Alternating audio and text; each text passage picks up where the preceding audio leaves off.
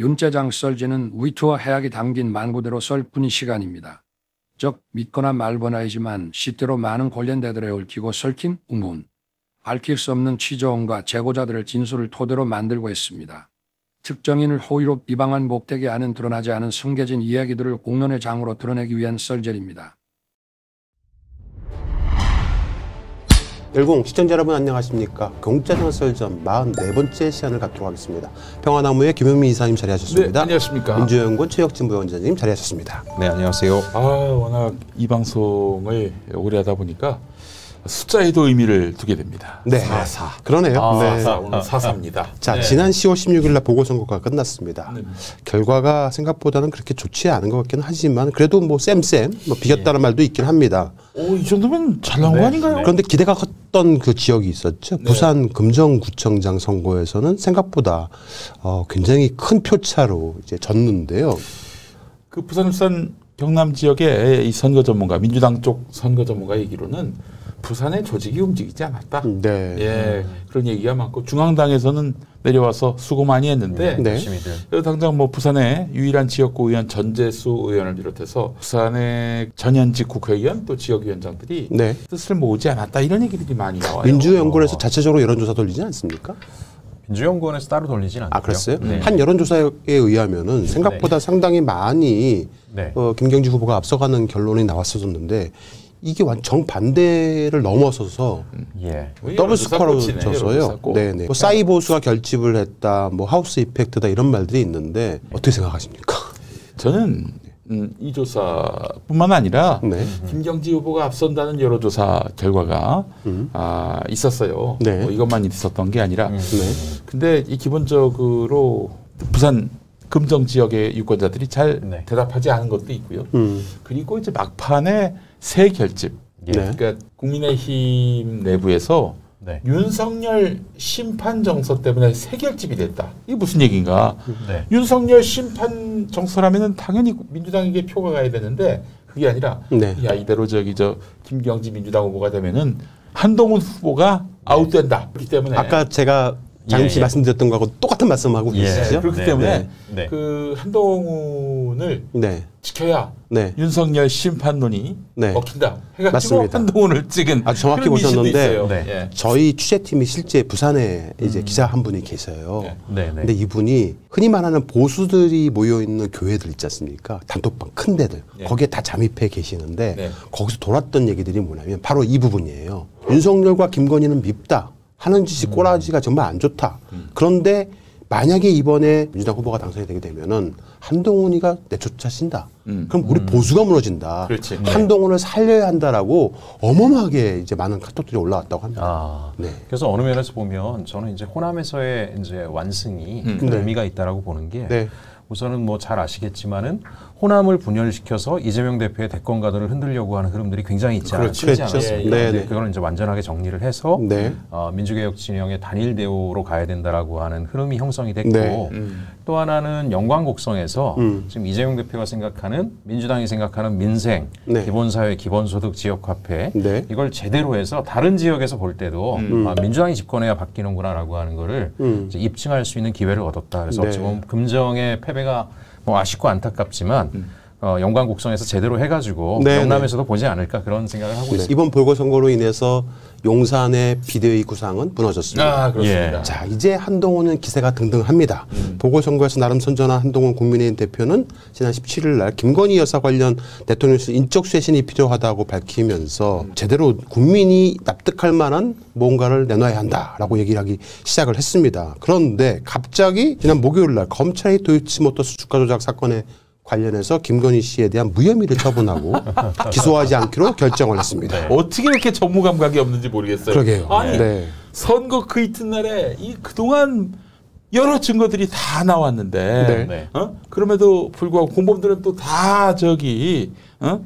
저 2심까지 유죄가 났는데 그럼에도 불구하고 이 사람은 무혐의? 이거는 우리를 욕해 주세요. 네. 우리를 비난해 주세요. 이거 아닙니까? 네. 그렇죠. 그리고 중앙지검 이제 국정감사가 있기 바로 전날 이걸 터트렸잖아요. 네. 그러다 네. 보니까 항간에는 네. 뭐 여러 가지 명태균 씨를 네. 비롯해서 하도 그런 것들이 시끄러우니까 네. 이거를 이제 중앙지검 국정감사에 focusing을 집중해서 그냥 네. 중앙지검장이 가서 네. 뭐 그냥 린치 몇 번 당하고 끝내는 게 좋지 않겠냐 뭐 이런 얘기들도 있었다란 풍문도 들려옵니다. 자 여기서 주목할 부분은 장모 최은순 씨도 불기소 처분을 받았다는 점입니다. 네. 통적 매매를 한두 사람. 열린공감 TV에서 최초 공개했던 최은순 씨의 오래된 40년 직위와 최은순 씨가 직접 통화를 한 내용에 의하자면은 음. 그 도이치모터스 다 그 엄마가 한 거 아니야. 그러니까 최은순 씨가 그럼 내가 했지라고 음. 얘기를 했거든요. 네. 그 부분까지도 다 무시해 버린 거예요 검찰이. 아이고, 그냥 자기들이 진짜. 완전히 네. 궁지에 몰리니까 이제 아무거나 막 들어다 이제 막는 네. 상황이 돼버렸는데 그렇죠. 네. 예, 점점 이제 본물 터진 일만 남은 게 아닌가 싶습니다. 근데 말이죠. 네. 저는 이 윤석열 정권 때 그 고위 관료들, 고위 네. 공직자들 이들의 그 심리를 좀 아는데 틀림없이 위에서 야 그렇게 해라고 지시한 파일을 확보하고 있을 겁니다. 네. 그렇기 때문에 이 친구들 나중에 그 추궁 받지 않겠어요? 실제로도 지금 민주당에서 특검을 하겠다는 거 보완된 김건희 특검법에 따르면은 네. 이 김건희 무혐의 처리한 검사들도 이번에 수사 대상이라는 거 아니에요? 그렇죠. 자 그렇기 네. 때문에 네. 그들은 다 증거를 준비했고 또 도리어 이렇게 무식하기 위해서 밀어붙이면은 우린 좋지. 그냥 이 증거 들고 가가지고 시키는데 어떡합니까? 이렇게 네. 말하면 되는 거니까. 최근에 용산 십상시라는 말이 회자되고 있습니다. 네. 즉 용산에 실세가 따로 있다는 말인데 김대남 전 대통령실 행정관이 거론하기 시작을 하면서 집중적으로 조명을 받고 있습니다. 자, 그런데 유탐사라는 곳 아시죠? 십상시 얼굴을 공개하겠다고 하면서 음. 어, 이렇게 공개를 했는데 이 이미지를 음. 유탐사 추종자분들이 굉장히 많이 퍼나르고 있다고 합니다. 어, 예, 그래서 예, 용산 십상시라고 치거나 아니면 뭐 황종호라고 이렇게 검색을 해보면 이 이미지가 항상 뜬다고 합니다. 이 황종호가 그 네. 황하영 씨 아들. 예. 네네. 근데 이 사진 다 맞아요? 자 그런데 바로 이 황종호 행장관이라고 적혀 있는 이 사진, 이 사람은 황종호가 아닙니다. 음. 네. 그러니까 유 탐사가 제시한 이 사진은 틀렸다라고 말씀을 드리겠는데요. 이 횡- 황종환한 사람이라고 알려져 있는 거는 잘못 알려진 사진이고요. 예. 이 사람은 누구냐면요. KBS 출신의 김기흥 비서관입니다. 아, 네, 네. 대통령실 부대변인을 하고 있는 사람인데 예, 예, 이 사람이 황종호로 둔갑이 된 거죠. 유탐사 때문에. 야. 자, 황하영 아들 황종호. 음. 황하영 아들 황종호의 얼굴이 제대로 알려진 건 없었습니다. 출마 선언 당시에 윤석열 옆에 있던 사람이 바로 황종호. 이 사람이? 네, 맞습니다. 어, 똑똑한 사람. 이게 이제 2021년 6월 27일 날 윤봉길 기념관 답사 때 음. 출마 선언 전에 이렇게 함께 나왔던 일들이 잡혔는데 그, 이때 그뭐 저기 황종호 얼굴도 모르고 그냥 그렇죠. 갖다 붙인 거네요. 이때 더 팩트에서 사진을 찍었는데 네. 저렇게 블러 처리를 해서 네. 황종호라는 사진이 공개된 바가 없었었어요. 네, 네, 네. 그런데 유탐사에서 그걸 공개해 버리는 바람에 네. 사람들이 다 이 사람을 황종호로 알고 있었는데 네. 알고 보니까 이 사람은 예, 김기용 대변인실 부대변인이었다라는 말씀을 드리고요. 강진구 유튜버 강진구 네. 씨가 우리 저 정천수 PD한테 전화해서 이 사람 저기 황정호 맞냐고 한번 물어봤으면은 이런 망신을 당하진 않을 텐데. 그래서 열린광 TV에서 공개합니다. 네. 황종호의 얼굴은 바로 이 사람입니다. 네. 오. 이 사람이 오. 황종호고요. 동국대학교 오. 정형외과 출신이고요. 예. 그 당시에 찍었던 사진입니다. 어, 완전히 다르네. 네, 완전히 다른 사람이죠. 이 친구가 이렇게 실세라면서요? 네. 그. 김대남 씨한테 그 네. 자기보다 나이가 많은 그 사람한테 뭐 하대하고 네. 이 사람이 22대 총선을 앞두고 윤석열 민생 토론회를 한 적이 있었습니다. 네네네. 그때 청년 정책을 자신 있다. 만들었다라고 얘기하고 있는 사람입니다. 음. 지난 대선에서 네. 윤석열 패북 유명하죠. 단문 패북들 예, 예, 예. 이런 거요. 예. 이거 다 본인이 했다고 합니다.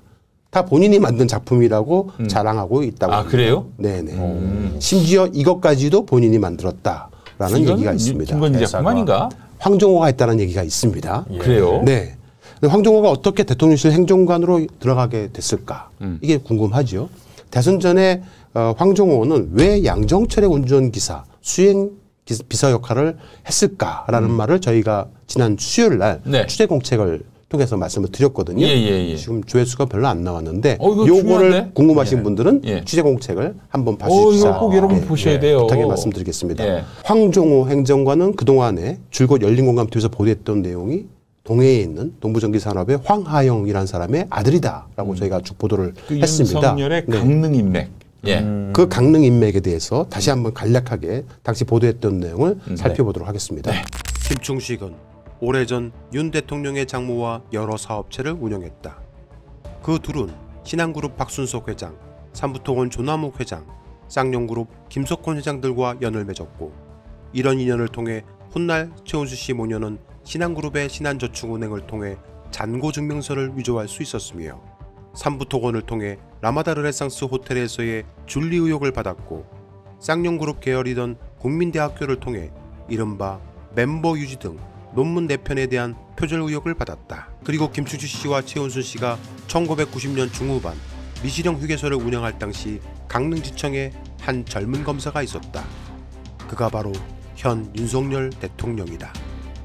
강릉과 동해 토호 기업가로 알려진 정화통신을 운영하는 우동명, 동부산업의 황화영 등은 윤석열 당시 검사와 친분을 맺었고 그 연결점이 바로 삼부토건 조남욱 회장 등이었다. 네. 저 열린검토에서 보도했던 내용입니다. 꽤 오래전에 최초 보도했던 보도죠? 내용이죠. 그렇죠. 네. 어, 이 황하영이란 이름을 역사의 무대 앞에 끌어낸 주체가 열린공감TV고요. 황하영 그 아들 황정호도 아마 그때 황정호 실명을 깐 건 아마 저희가 최초일 겁니다. 네. 뭐 40년직이라고 하는 그 그렇죠. 사람이죠. 네, 네. 황하영, 우동명이가 이제 윤석열과 근데 40년직이라고 지금 보시면 됩니다. 어떤 매체도 감히 얘기 못하는 게 네. 황하영과 무속의 연관성이에요. 이것도 네. 열린공감TV가 그렇습니다. 단독으로 오늘 주제이기도. 한데요. 예. 예. 자, 이 최은순의 전 내연남 김충식 씨 지금도 여전히 많은 이권 사업을 하고 있다라고 저희가 보도하고 있지 않습니까? 아, 우리 충식이 형 그런데 정말. 이 김충식 씨가 갑자기 요즘 최근에 동해를 자주 간다는 거예요. 동해? 네. 강원도 동해 네. 동해를 자주 가는 이유가 뭘까 되게 궁금해서 음. 저희 취재원이 실제로 접근을 해가지고 물어봤습니다. 누구에게 물어봤냐면 최은순과 김충식의 오래된 집사 역할을 했던 사람이 있습니다. 정복당 씨라는 분인데 음. 네. 실제 자금을 관리했던 사람입니다. 오. 그 사람이 뭐라고 말을 하는지 한번 들어보도록 하겠습니다. 예. 팀장님은 네. 아까 통화했었는데 강원도 동해를 자주 가시네. 동해에 누가 계세요? 아, 거기가, 예, 예. 동해가 네네. 그 자주 가야 될 일이 있어요. 그, 저, 누구야, 그, 영부인 어머니 있잖아요. 예, 예. 최- 최은순 여사님. 네네네. 최은순 여사님 멘토가 동해에 있어요. 아, 그래요? 네. 아, 동해에 계신구나. 최은순 여사님의 멘토가 동해에 계신다고요? 네, 네. 아, 그래서, 그럼 그분들을 가면 만나는 거예요? 그 원장님이 그걸 엮어줬지. 자기가 그, 저기, 저, 윤 회장이 이제 말을 안 들으니까 예, 예. 어떻게 해보려고 그랬는데 예, 예. 지금은 누가 가도 그 나이 내에서는 안 돼. 아, 그렇구나. 그걸 하신다면은 네네. 내가 사람 하나 소개해 줄 수 있어요. 그렇구나. 동해에 그러면 그런 분들이 계셨구나. 그렇게. 네. 지금은 정상명이 개입되지 않으면 예, 예. 누구도 못해. 뭐 권진법사 어린도 없고. 아, 지금 정상명 씨가 실세입니까, 완전히? 그러죠. 어, 정상명이 또 나오네요. 전 네. 검찰총장. 이게 이제 예. 저희가 총선 이전에 음. 취재원이 취재를 했던 내용이었는데 네. 그 당시에 국민의힘의 총선 공천권을 쥐락펴락했던 사람은 정상명. 바로 정상명 전 검찰총장. 그 사람이 윤석열 김건희의 주례를 받았던 검찰총장. 아, 그렇죠. 네, 네. 예, 예. 자 문제는 김충식 씨가 동해를 자주 가는 이유가 바로 황하영 사장을 만나러 자주 간다는 거예요. 음. 그런데 그 황하영이가 최은순 씨의 멘토라고 얘기하고 있습니다. 음. 그리고 윤석열 대통령을 지칭하기를 윤 회장이라고 하고 있지 그거 좀 않습니까? 특이하네요. 네. 윤 회장. 황정호 씨가 네. 황정호 씨가 윤석열 대통령을 회장님이라고 부릅니다.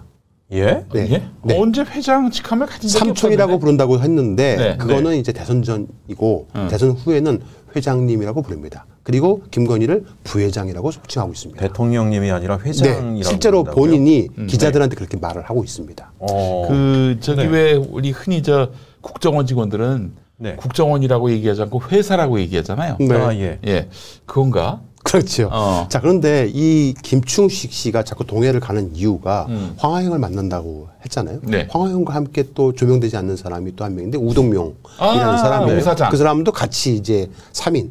그러니까 황화영, 우동명, 윤석열은 거의 삼형제처럼 같이 다닌다고 하는데 네. 이 우동명이라는 사람이 정화통신 대표를 하고 있는데 강릉시 선거관리위원회 위원이 아, 그래요? 선관위원이에요? 네. 그의 아들도 현재 대통령실에서 근무하고 있기도 그러면 합니다. 건진법사 자제분도 있다 그러더니 네. 다 그런 다? 거기 있는 거지요. 이야. 자, 그런데 이들과 함께 골프 멤버로 활동했던 예. 사람들이 많이 있었다고 하는데 그 중에 한 명이 저희 열린검티로 제보를 갔습니다. 오. 그분이 정말 놀라운 얘기를 했습니다. 네. 그 얘기를 한번 들어보겠습니다. 예. 제안을 했습니다.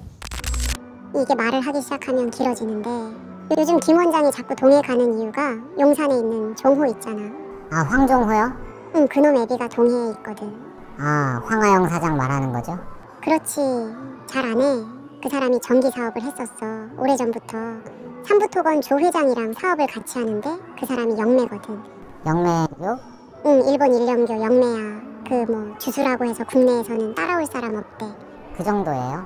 그 사람이 그렇게 영적으로 상위에 있거든. 그래서 심 씨도 인연이 돼서 서로 알게 된 거고 그 인연이 그때 돼서 그때 강릉지청에 윤희 근무했었거든. 검사들 자기 앞날 알아보려고 황 회장에게 줄대고 줄 서고 그랬거든.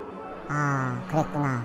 그래서 조 회장이 최은순 여사랑 재벌 총수들이랑 골프 멤버였는데 그- 그건 알지? 여기 저 있었던 미시령 네네, 미시령 휴게소요. 응, 거기 거기서 인연들이 돼서 자주 만나서 골프 모임을 했었거든. 허구한 날 만났어. 나도 몇 번 라운딩했지. 거기 멤버로 윤석열을 껴준 거야. 아, 그랬구나. 최 여사가 황 회장에게 깜빡 죽었어. 지 딸 명신이 소개해줬는데 황 회장이 알아본 거야. 명신이도 영매란 것을 안 거지. 아, 이거 무서운데요? 그런데 윤도 곧잘 이것저것 잘 맞추더래. 그래서 심씨가 명신이랑 둘이 한번 궁합 좀 봐줬거든. 아, 그래서 그렇게 말하는군요. 아는 스님 소개 어쩌고 한 게 그건 모르겠고 여튼 황 회장이 일본에서 살 때 알아주던 염자였대. 염자가 뭐예요? 그 주술 걸어서 저주하고 뭐 그런 거야. 아, 그 드라마에서 나온 그 방법인가 그건가 보네.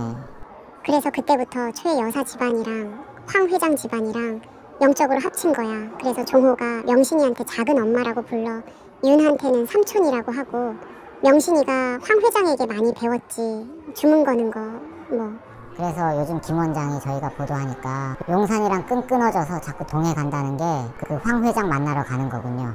그렇지. 지금 이분은 음. 이분의 그 목소리가 나가면 변조를 해도 음. 이분의 그 동해 어투가 네. 있어요. 강원도 어투 예. 때문에 금방 그랬더래요? 특정이 뭐, 돼요. 음. 누군지가. 그래서 저희가 고민을 하다가 음. 네. 제보자한테 전화를 했더니만 자기 목소리 나가면 안 된다. 그래서 음. 제안을 한 겁니다. 네. 그대로 제안을 했는데 재난 목소리도 지금 네. 저기 변조를 해가지고 네. 아무도 알아볼 수 없게. 그대로 제안을 했는데 아, 제안이라고 목사님 적어놨죠. 기도를 많이 해주셔야 될 것 같습니다. 꿈자리 사 나올 것 같습니다. 네. 보니까 섬뜩합니다. 근데 섬뜩해. 지금 천하의 충식이 형도 지금 네. 어? 최은순, 김건희 라인하고 끊겨가지고 네. 지금 황하영을 만나러 통해까지 가신다는 거 아니야? 그 연로하신 분이. 예. 어찌됐든 이분의 주장인 거죠. 또 썰전이니까 썰입니다. 네. 팩트로 확인된 건 없어요. 그걸 전제 조건하에 말씀을 드리 자면은 이분의 주장에 의하자면은 황종호의 아버지인 황하영 사장이 일본의 주술사라는 거예요. 일본에서 오랫동안 주술사 활동을 했다는 사람인 거죠. 음. 실제 저희가 열린광 TV가 그 황하영 씨의 동해 사무실을 가봤는데 이렇게 일광이라고 적혀 있었어요. 아 그래요? 네, 황하영 씨의 사무실에 있는 건물입니다. 이 건물 자체가 황하영 씨의 건물이거든요. 그리고 이 건물 내부 안에 황하영 집무실을 들여다봤는데 거기에 일본 부적이 이렇게 걸려 있었거든요. 네. 아 이건 진짜 특종감인데. 이건 그 당시 저희가 보도를 벌써 3년 전에 했던 겁니다. 그래요? 네, 네. 자, 문제는 이 동해에 누가 살고 있냐면 윤석열의 이모가 살아요. 외갓집이 예. 살고 있습니다. 아 네. 그저 저 무속 네, 쪽에 네. 계신 분. 이분도 무당이란 말이 있었었어요. 어. 저희 취재팀이 취재를 계속하고 있어서 취재가 힘들었거든요. 근데 이 제보자의 말을 들어보니까 이제 이해가 됐어요. 이 분이 윤석열의 이모라는 분이 바로 일년 종종을 믿는 사람이다라는 거예요. 아 일본. 예. 그리고 아까 말씀드렸던 일년 종종의 일본의 꽤 이름난 그 무- 주술사가 바로 황하영이기 때문에 이분과 이모와 황하영이가 먼저 연결이 된 거고 아. 이모의 소개로 윤석열이가 연결됐을 거라 라고 얘기를 하는 거죠. 음. 그러니까 다 이게 실물이가 풀리는 겁니다. 아, 기타리가. 예. 네. 그게 이제 인연이 돼서 어, 그때부터 이들이 골프를 같이 치고 다녔다 이런 말들이 나오기 시작을 한 건데 여기서 잠시 여다. 네. 네. 그 이모라고 했잖아요. 네네. 윤석열 이모. 네네. 윤석열 엄마의 동생이거나 혹은 뭐 언니라는 얘기인가요? 그렇겠죠? 윤석열 엄마의 동생이신 거죠? 예, 엄마의 동생, 동생이네요? 여동생? 네네. 자, 문제는 방금 제보자가 어, 염자라는 말을 했지 않습니까? 염자, 네. 예, 바로 염자라는 것이 한문으로 방법팔염이라고 합니다. 다른 사람에게 재앙을 내려달라고 네. 귀신에게 기원을 네. 하는 저주를 뜻한다고 합니다. 야 일본식이구나 어, 이거. 예, 그럼 우리가 염- 염한다고 하는 그 염하고 다른 건가요? 좀 다른 거죠. 염자는 예. 도금이 염이고요. 재앙이나 질병을 없애달라고 기원하는 것이고 또한 반대로 누군가에게 재앙을 내려달라거나 어떤 대상이 항복하도록 기원하는 것을 뜻한다고 아 합니다. 연병할 할 때 그 염인가? 그럴 수도 있어요. 예. 어. 이건 확인해 봐야겠습니다. 네. 그 염제를 한다고 하는데 재물을 바쳐서 네. 적에게 재앙을 내려달라고 비는 기원 행위를 염제라고 합니다. 아. 네. 즉 황화영 씨가 일본의 음향사로 활동을 했다는 겁니다. 제보자의 말에 의하면은 아, 그 사업하시는 분이? 예, 일본 어. 음향사가 주술을 하는 자라고 어허, 하는데 예. 음향사의 주술은 사람을 해야 하는 주술사라고 아이고. 합니다. 그 일년 종종 남미 호랑객교 음. 그런 염제를 자주 잘 지내고 있다고 합니다. 재물을 바치는 거죠. 살아있는 재물을 바칩니다. 바로 이런 겁니다. 예. 이 당시에 이제 건진이가 어, 이 역할을 했다고 하는데 건진의 스승으로 알려졌던 일광 조계종의 효시인 일광사 해우가 해우 스님. 저희 취재팀이 취재를 했는데 김건희가 부탁을 해서 갔다고 합니다. 음. 그의 이야기를 들어보겠습니다. 네. 이렇게 스님께서 축원도 하셨는데 이렇게 내가 그걸 예. 거기 그때 김건희가 뭘 한다고 그래서 그걸 좀 그때 내가 한 70대 되니까 70 아, 그때 한 70대에서 70좀 넘었을 거야 그래서 내가 나도 그때도 가서 연결도 못해 난 음, 내 제자들이 전부 가서 아, 걔들 와서 다 했지. 음. 자, 그 살아있는 소를 네. 염제를 아이고, 지냈던 행사. 예. 김건희가 부탁을 해서 갔다라고 해오는 얘기하고 있습니다. 불가해서 살인은 살아있는 소나 뭐 이런 그 동물이라도 생명체를 생명을 해하는 살상하는 거는 행위는 하지 말아야 되는 불교에서는 거죠. 용인이 안 예, 수가 되죠. 맞습니다. 아, 예. 그 뭐, 그래서 저 네. 우리 스님들이 또 고기도 안 드시는 거 아니에요? 자, 그런데 음. 네. 중요한 거는 그 동해의 제보자께서 네. 염제를 했는데 그 장소가 양평에 있는 김건희 선산 인근에 있는 분홍색 건물에서 아니, 그 건물? 그 예. 납골당 뭐 예, 거 예. 방송하셨던? 거 네, 그거? 보겠습니다. 열린공감 TV 탐사전을 온 취재팀은 최우순 씨가 5월 14일 동부구치소에서 가석방되고 나서 며칠 후 자신 가족의 선산을 찾아갔다는 양평의 한 취재원으로부터의 제보를 받았습니다. 제보자에 따르면 최 씨는 선산 맞은편 쪽으로 걸어갔고 그곳에 소름 돋게 수상한 곳이 있다고 취재팀에 알려왔습니다. 그리고 앞에 기둥성 거 있죠? 누가 봐도 이게 사찰이 아니잖아 지금. 자, 보현사 영혼의 쉼터 우리가 현재 취재한 바에 의하면은 납골당의 목적으로 졌다고 하는데 농협이라고 농협이고 사람 이름 같습니다. 계좌번호가 적혀 있는 예, 것 같아요. 숫자인데 이거는 일부러 지운 것 같습니다. 네.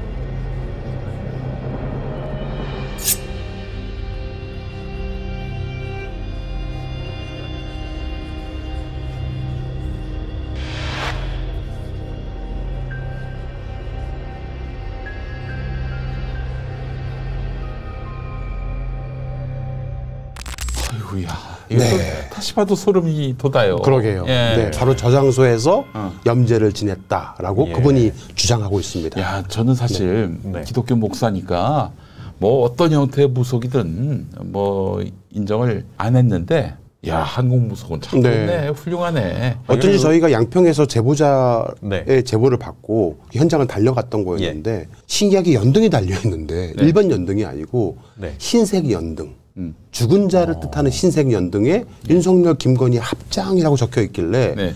이거 분명히 뭔가 있다라고 네. 생각을 했었거든요. 예. 이게 cross check가 된 순간이었어요. 아, 그래요. 일본 주술적 무속 같은 경우에는 예. 보시다시피 남의 불행을 바라는 예. 와, 아주 정말 요상하기 짝이 없는 네. 요망하기 짝이 없는 이게 애니메이션에서 예. 음양사라는 사람들이 가스라이팅 네. 해가지고 예. 막 사람의 주술을 걸어서 그 사람이 다른 사람을 막 해하게 하고 그런 거로 나오거든요. 그렇죠. 네. 예.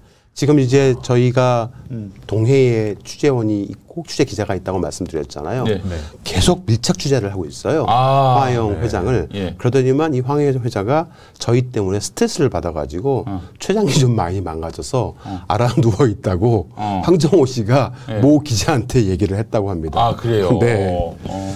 자, 동해 제보자에 의하면 황혜영과 김건희, 윤석열은 영적으로 연결되어 있다고 하는 거예요. 영매 같은 가족 같은 개념인 거죠. 김건희의 말을 다시 들어보겠습니다. 네. 우리 남편도 약간 그런 영적인 끼가 있거든요. 그러니까 이제 저랑 그게 연결이 된 거야. 그러니까 그까지 보내고 예, 예. 내가 웬만한 분을 잘 본다니까 그러니까 현재 이 제보자의 말에 의하면은 네. 영매끼리 영적으로 연결되어 있는 가족이라고 말을 했어요. 음. 제 상위에 황화영이 있고 음. 그 밑에 수제자로 김건희가 있고 김건희 밑으로 윤석열이가 있다라는 겁니다. 아, 그래요. 그러니- 어, 황하영이가 권력 최상위라 그렇죠. 하겠네요. 예. 그러니 이런 말을 할 수가 있는 거예요. 아, 무식하면 원래 그래요. 네. 그러니 이런 말을 할 수가 있는 거고, 음. 그러니 김충치 씨가 동해를 자주 찾아가는 이유가 그 멘토를 만나기 위해서 가는 겁니다. 거기 아니면 정상명 예. 음. 두 명의 입김만이 윤석열을 설득시킬 수 있다고 보는 거죠. 저희 공짜장 설전을 통해서 어떤 매체보다도 김건희 윤석열의 주술적 음. 무속 사랑과 그 의혹에 대해서 이제 쭉 말씀을 드려왔었는데 그러니까 이게, 이게 사실 다 fact에 기반해서 네. 그 네. 의심을 하고 또 의혹 제기하고 그런 건데 여기에 감히 접근할 어떤 용기가 없다 보니까 그렇죠. 언론들은 이렇게 엄청나게 많은 분들이 봤는데도 불구하고 많은 분들이 소름 돋아 하는데도 불구하고 받아쓰질 못해요. 그러니까 legacy 미디어들은 예. 상식이라는 범주 내에서 예. 자꾸 사고를 하려고 드니까 그래요. 예. 김건희와 윤석열을 이해하려면 상식의 이해를 벗어나야 됩니다. 그러니까 이제 대한민국 대통령까지 된 사람들 그 가족들이 네. 설마 저런 짓을 하겠냐 이런 생각들을 깔고 가잖아요. 그렇죠. 네. 네. 그러니까 이게 너무 많아 갖고. 아예 설마 만화 갖고 소설 갖고 예. 영화 갖고 말이 안 돼. 그렇지. 예. 그런데 그렇게 생각하면 안 되는 거죠. 범주를 벗어나야 됩니다. 저희가 이렇게 보도를 하고 나니까 예. 실제로 많은 사람들이 제보를 해주고 있어요. 예. 정말 저희 제보 메일함이 미어 터질 정도입니다. 어허허. 근데 물론 그 중에서 신빙성이 있는 것도 있고 없는 것도 있겠죠. 음. 근데 저희한테 하나의 제보 메일이 왔습니다. 네. 네. 자신을 자칭 도사라고 하는 사람인데요. 음, 이 도인명을 제가 가렸는데 이 사람의 도인명을 제가 검색을 해보고 좀 알아봤어요. 실제로 굉장히 유명한 사람인 거예요. 어. 유튜브도 있어. 예, 유튜브도. 본인 예. 유튜브도 있습니다. 예. 네. 유튜브도 있고 제자가 되게 많습니다. 예. 꽤 유명한 사람이더라고요. 천공하고는 비교도 안 될 정도로 음. 아, 레벨 국내에서? 예, 국내에서 아. 굉장히 알려져 있는 사람이에요. 근데 이분이 저희한테 메일로 이렇게 제보를 한 겁니다. 현재 저희가 맨 위에 보면 보여드렸는데 굉장히 긴 메일로 보내줬어요. 이분이 주장하고 있는 내용이 뭐냐면 혹시 예전에 열린광TV에서 보도했던 내용 중에서 이 공채서 서전 통해서 말씀을 네. 드렸었는데 용산의 오방신 어, 다섯 개 그렇죠. 기둥 그거 관련된 얘기를 이분이 해주셨는데 음. 자기가 거기에 깊숙이 관여되어 있다라는 겁니다. 아, 팩트 체크를 네. 해주실 분이구나 예. 이분이. 네. 뭐 개인적으로 저는 하나님을 믿습니다. 음. 그리고 목사님이시잖아요. 부원장님은? 저는 한때 카톨릭 신학교를 다녔습니다. 어 진짜? 예, 아 예. 신부가 되려고? 예, 나중에 나이 들어서 이제 그렇게 네. 하려고. 근데 아. 신학교를 가서 생활을 해보니까 예. 아, 그 하느님의 뜻이 저는 이제 신학교에 있지 않구나. 아, 예, 예.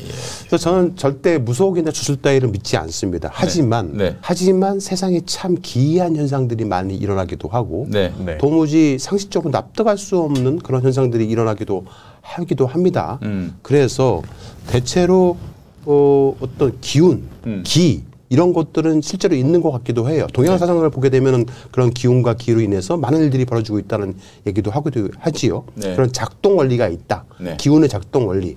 그거 관련해서 공짜연설전에서도 보도를 한 적이 있었습니다.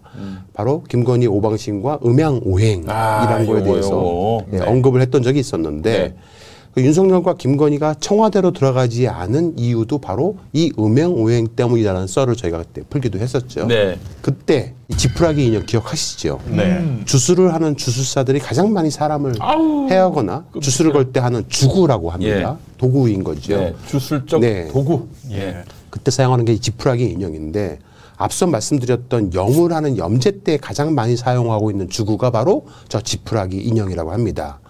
김건희 씨는 실제로 지푸라기 인형을 사용한 적이 있었었어요. 2004년도에 안양천에서 열린 한 행사에 그래요? 얼음 안에 지푸라기 인형을 저렇게 놓아놓고 코바나 컨텐츠 행사였죠? 맞아요. 예. 네, 얼음이 녹으면 자연스럽게 인형이 물속에 가라앉게 하는 그런 주술적 행위를 해서 논란이 빚었던 당사자이기도 합니다.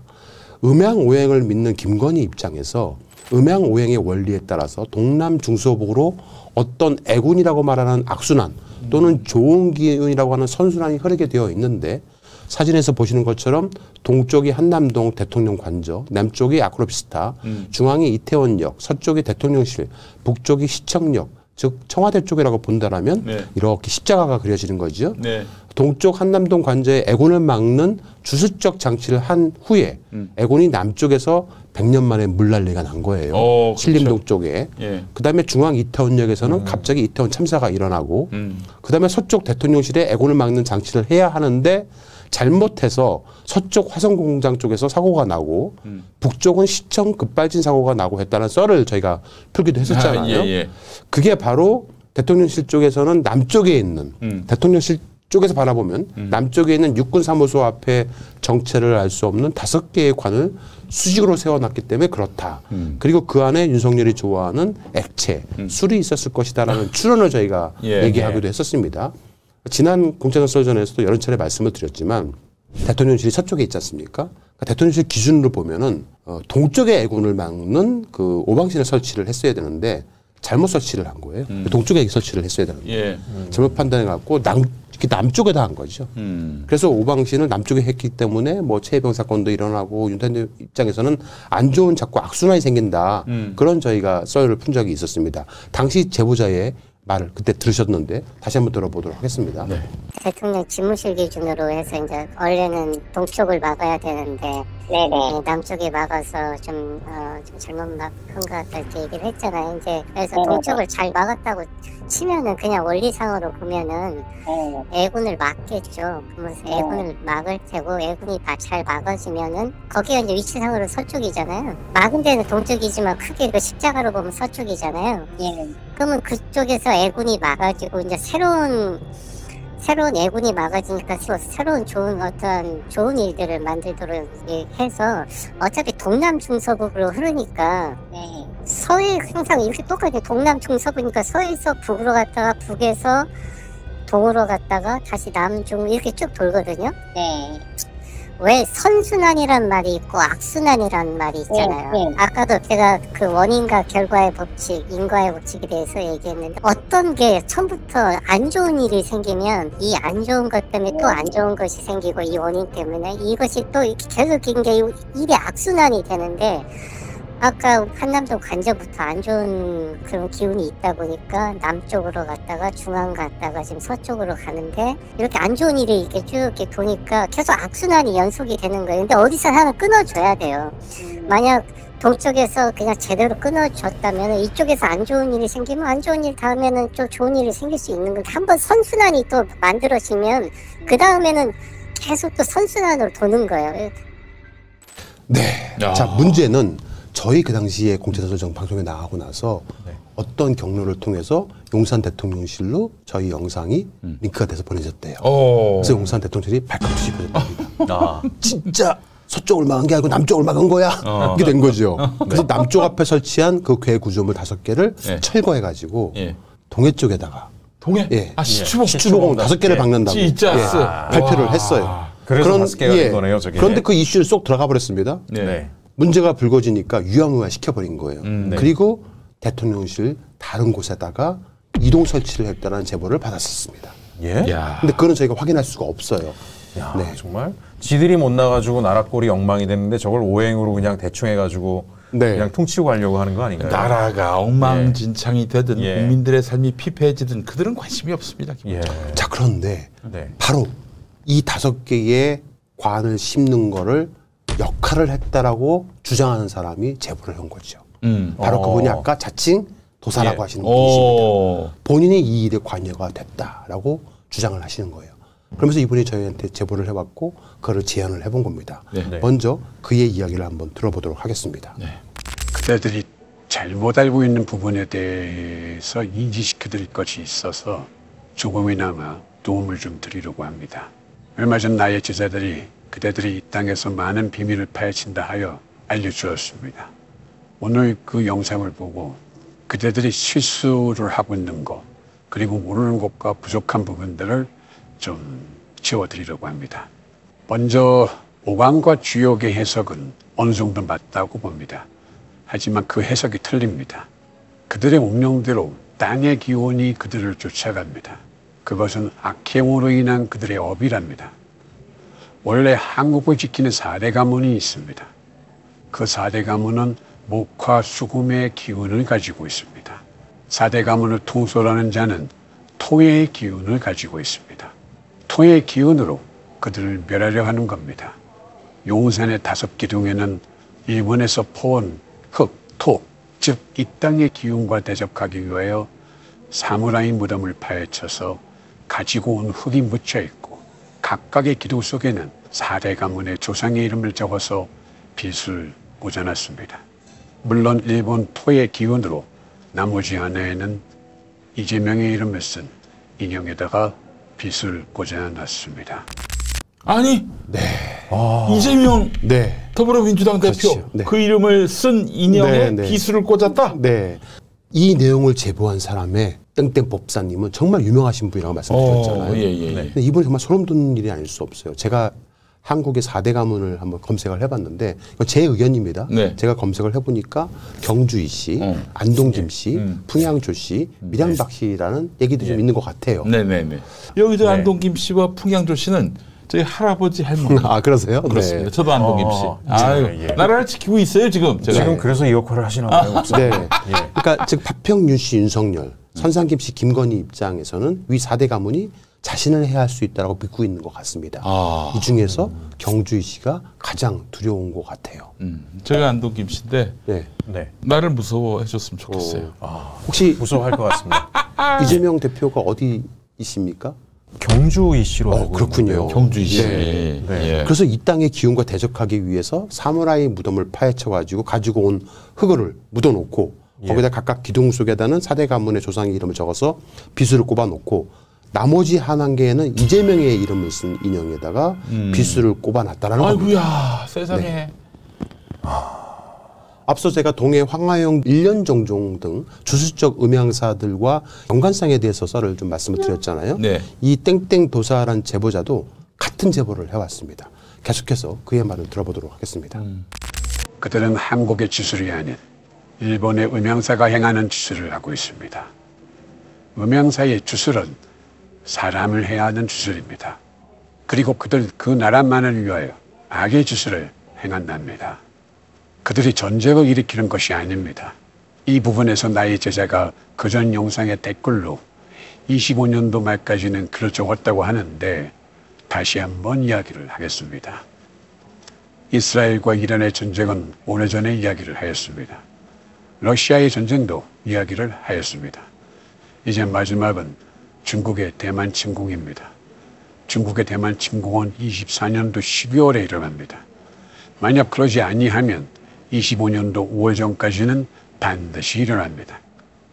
그때는 미국의 군사력이 중동에 집중하고 있을 시기이고 중국은 대만을 침공해서 한미일 동맹은 전시 상태에 돌입을 합니다.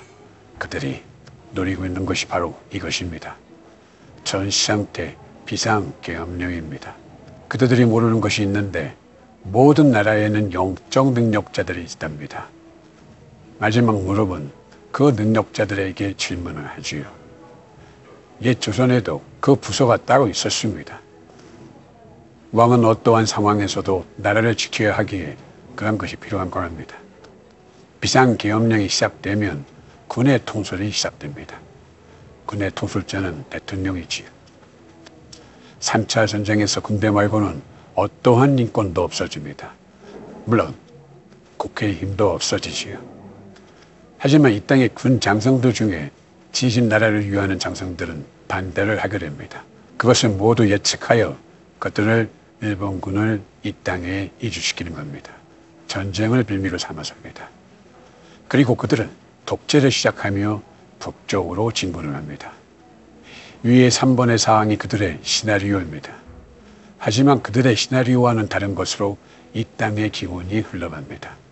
먼저 윤의 탄핵이죠. 올해 12월에 일어날 겁니다. 아니면 내년 1월 안에는 반드시 일어납니다. 네. 이야, 어우. 그러니까 이 도사의 말이 맞다라면 올해 12월 늦어도 내년 1년에는 국회에서 탄핵이 발의될 거란 겁니다. 혹시 네. 그런 조짐이 보이나요, 국회에? 혹시?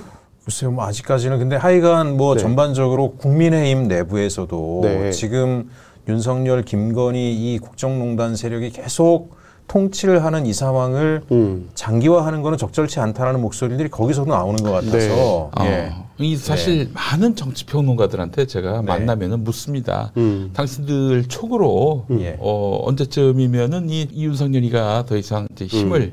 과시하는 김건희가 또 이제 윤석열 머리 위에서 이렇게 국정을 네. 농단하는 일이 어느 정도 저항에 부딪히는 그 시점이 언제라고 보느냐.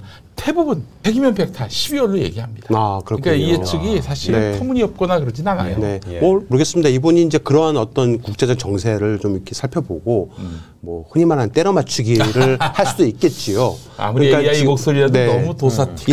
이란 이란 네. 이스라엘 뭐 전쟁도 있고 그리고 그 시- 그걸 빌미 삼아서 이제 중국이 대만을 침공할 수도 있다는 얘기는 여기저기서 많이 나오고 있는 얘기이기 때문에 음. 그래서 한미일 동맹이 되게 뭐 강건해져야 된다는 게 윤석열 정부의 음. 얘기였고 그 얘기를 국민의힘에서 하는 바람에 한미일 동맹에서 일을 왜 넣냐 음, 네. 빼야 된다 이렇게 또 이제 어, 말씀을 하시는 분도 있으셨고 그것 예. 그래서 그거를 시나리오로 삼아 가지고 뭐 비상계엄령을 선포하겠다는 게 이제 그들의 시나리오다라고 말씀을 하고 계시는 거거든요. 예. 하지만 이 땅의 기운은 탄핵으로 갈 것이다.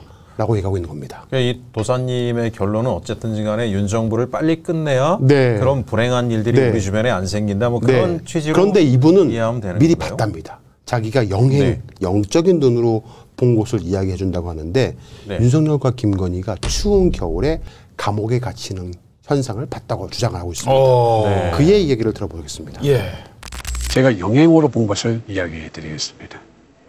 그와 그의 여자가 겨울에 감옥에 갇히는 것을 보았습니다.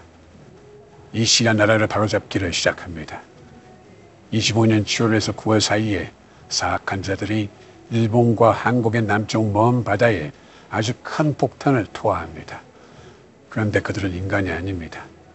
그것들로 인하여 지축의 변화라고 하는 지각의 변화가 생기는데 이 땅의 서쪽이 융기하고 동쪽과 남쪽이 수상됩니다. 그대들이 들으면 나의 이야기가 들리지 않을 겁니다.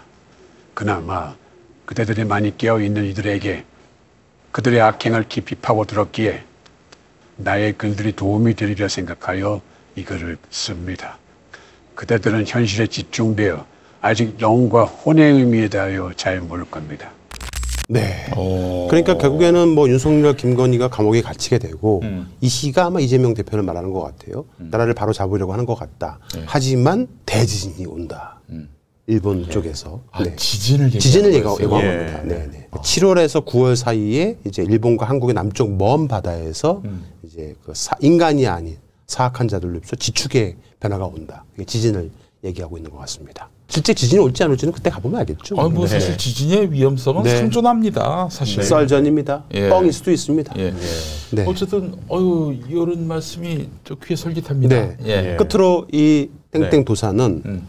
굉장히 유명하신 분이라고 말씀을 드리는데 못 믿을 것 같아서 음. 앞자가 백자입니다. 한번 찾아보시기 아, 바랍니다. 네. 음. 한국 조상 귀신 관계에 대해서도 무서운 이야기를 하십니다. 네. 김건희의 모친은 최원순이죠. 김건희는 김의 조상주를 받은 것이 아니고 최의 조상주를 이어받았다고 주장합니다. 음, 그리고 최원순의 조상이 일본과 아주 연관이 있다고 주장하고 있어요. 예. 그의 이야기를 들어보겠습니다. 마지막으로 당신들이 모르는 이야기를 하나 해봅니다. 조상의 관계입니다. 즉 귀의 관계이지요. 김의 모는 최입니다. 김은 김의 조상주를 받은 것이 아니고 최의 조상주를 받았지요. 최의 조상은 일본과 아주 연관이 있는데 그 일본의 야욕을 수백 년 동안 겪어왔던 이 씨와 원한 관계입니다. 이 땅에서 일본과 가장 연관된 조상의 씨는 최 씨인데 그들의 핍박으로 이 씨 조상주를 타고난 이들이 많은 핍박을 받고 살아왔습니다. 이것은 부와 모의 성씨와 또 그 위에 부와 모의 성씨, 또 그 위에 성씨 이렇게 알아가서 나오는 겁니다. 그대들은 나의 마지막 말을 잘 명심하기 바랍니다. 최진술과 김씨의 모친 최씨와 또 그들과 어우러진 주술사, 법사들의 관계 그것을 파헤치지 못할 것이지만 그것을 알게 도와드리겠습니다.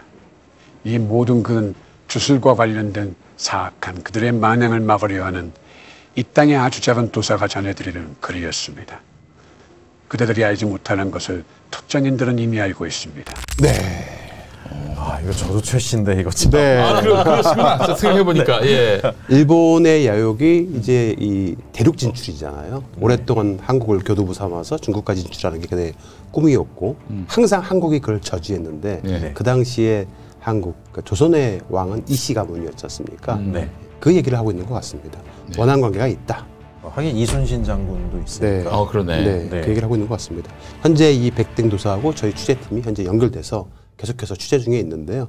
어, 다음 주에 더 놀라운 얘기를 하도록 하겠습니다. 어우, 저는 다른 네. 것보다 이재명 대표님의 그 지푸라기 인형에다가 그걸 해놨다는 게 그게 정말 사실이라면은 사실이라면 진짜 네. 어, 엄청난 일 아닙니까? 네. 이건 정말 있을 수도 없는 만행이잖아요. 야, 이런 주술적 무속은 이건 진짜 네. 어, 이 백해무익하고요. 네. 어, 이거는 정말 엄단해야 될 일이 아닌가 하는 생각입니다. 네. 종교의 네. 이름으로 네. 어, 이런 사악한 주술 행위는 좀뭐 좀 차단할 방법은 없는지 싶네요. 예. 네. 예. 아니, 근데 화가 나는 거는 음. 이런 김건희한테 어? 예. 말하자면은 면제부 주면서 네. 축복해준 이 목사들 정신 나간 목사들 야 진짜 너희들은 용서할 수가 없다 진짜 그러게요. 야 주님이 너희들을 어 예쁘게 봐줄 수 있을 거 아니 심판받을 날이 다가올 거야 예. 네.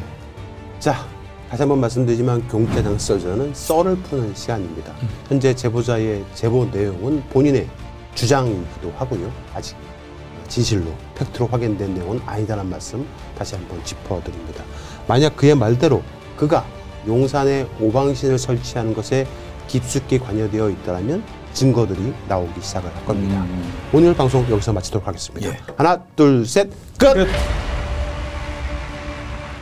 시간에 내가 되게 영적인 사람이라 예. 그런 시간에 난 차라리 책 읽고 예. 차라리 그 도사들하고 같이 얘기하면서 삶은 무엇인가 이런 얘기를 하는 걸 좋아하죠.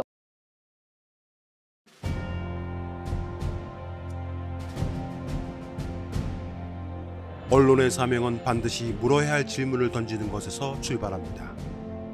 열린공감 TV와 탐사전을 오는 정치 권력, 자본 권력 등 그들의 이권과 카르텔을 감시하기 위해 반드시 의혹에 대해 질문하고 진실을 알리겠습니다. 열린공감 TV와 탐사전을 오는 시청자 여러분의 후원으로 운영됩니다. ARS 전화 1877-0809를 누르신 후 안내 멘트에 따라 정기 후원에 가입하여 주시길 부탁드립니다. 또는 우리은행 1045-704-387412 국민은행 787201-04-247879의 후원 계좌를 통해 일시 후원 및 정기 후원도 가능합니다.